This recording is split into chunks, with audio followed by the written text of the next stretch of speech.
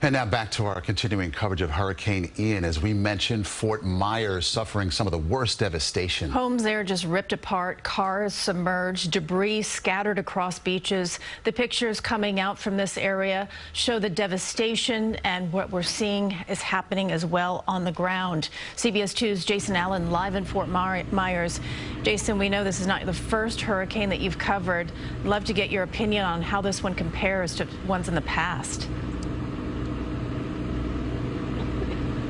It's difficult for me, Christine, to say any one is the worst, right? Because if you are right at the center of one, then that one is the worst for you. But if we're just talking about uh, the the size of the damage area, the the amount of the devastation, this one is this one's really right up there. It was impressive as we drove from the Tampa area through the Fort Myers area all the way down to the coastline today uh, to watch the extent of the damage. Everything from just trees falling to then you see a roof torn apart, and then you see people trying to wade to houses back and forth in water. And as you get closer to the coastline, then you start to see uh, damage like this. These are huge yachts that have been thrown up and out of the water, out of the river, up on top of docks. In fact, there's pieces of docks back here behind me that, that you can't see on the other side of the camera.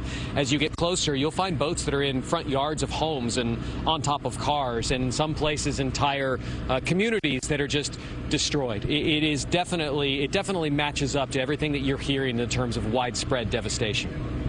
Jason Allen, thank you so much. Devastation, I don't think even begins to describe uh, what we're looking at. We will certainly talk to you some more going forward. Wow. And you know, the danger's not over yet because no. they're saying even with the cleanup, people's safety, you know, there could be live wires on the ground. There's all kinds of danger that still face these people. There's um, possibility of poles still, you know, collapsing, roofs still collapsing. Danger not over yet for these folks.